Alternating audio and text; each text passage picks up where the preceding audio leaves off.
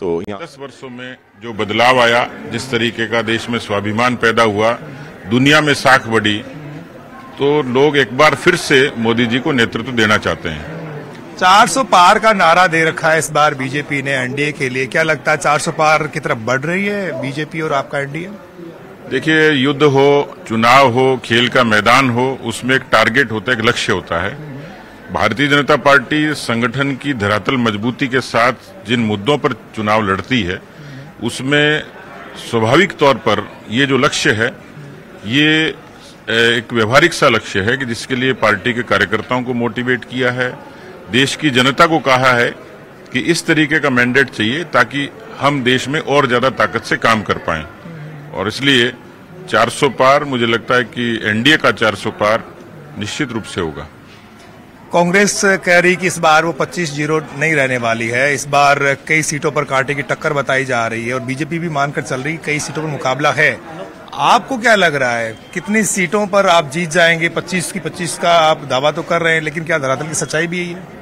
बिल्कुल सच्चाई है और कांग्रेस तो खुद ज़ीरो है, क्योंकि उनके बहुत मज़बूत लोगों ने मैदान छोड़ दिया, जिनको चुनाव लड़ना चाहिए था। एक एक सिंगल सिंगल व्यक्तियों की पार्टी से अलायंस किया तो कांग्रेस को उसकी औकात समझ में आ रही है कि उन्होंने जनता का भरोसा खो दिया और इस भारतीय जनता पार्टी पर लोगों का भरोसा है और उस भरोसे से ही मैंने ये कहा है कि 25 भी पूरा होगा 370 भी पूरा होगा और 400 पार भी पूरा सबसे बड़ा मुद्दा क्या है जो आज मतदाता के मन में आज चल रहा है वोट करते वक्त? क्या लगता है? देश की जनता क्या सोच करके और वोटिंग केंद्रों पर पहुँच रही है? बहुत फीडबैक भी तो लिया होगा आपने। देखिए देश की जनता सबसे पहले चाहती है एक स्टेबल गवर्नमेंट स्थायी सरकार। देश के इस हालात में कोई दल, कोई अलायंस इतना सक्षम नहीं है कि देश में एक मज़बूत सरकार चलाए, क्योंकि देश के समक्ष चुनौतियाँ बहुत हैं। हम दुनिया के सबसे बड़े लोकतंत्र हैं, दूसरी बड़ी आबादी है, अच्छी हमारी सेना है, सब कुछ होते हुए भी हम लोग चारों तरफ़ दुश्मनों से घिरे हैं। बहुत सारे दुनिया की निगाह हमारी तरक्की पर है, उससे एक ईर्ष्या एक किस्म की है।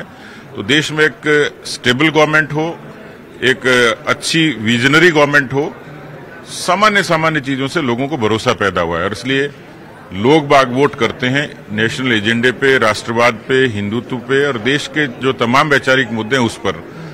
तो हम लोगों ने कहा है कि जो काम अधूरे हैं, मान लीजिए आज वन नेशन, वन इलेक्शन की बात होती है, आप किसी आम आदमी से पूछेंगे तो वो त्रस्त लगेगा कि कितनी बार वोट दिया जाए, कितनी बार लाइन में लगा जाए, कितनी मशीनरी उपयोग में की जाए, कितना पैसा देश का लगे।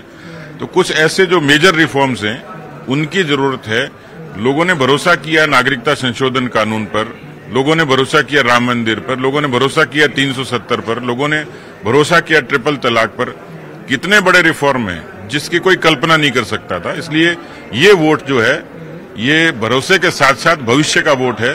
और प्रधानमंत्री जब कहते हैं कि मैं दो की बात करता हूँ तो उसमें दम है, ताकत है और इस तरीके के भविष्य के साथ वो आगे बढ़ना चाह रहे हैं, जिसमें लोगों का एक मैंडेट चाहिए, उस मैंडेट के साथ तो भारतीय जनता पार्टी के पूर्व प्रदेश अध्यक्ष सतीश पुनिया को आप सुन रहे थे, दावा किया कि 25 के 25 सीटें बीजेपी जीतेगी राजस्थान में, और अब आपको सीधे हम आपको लिए चलते हैं।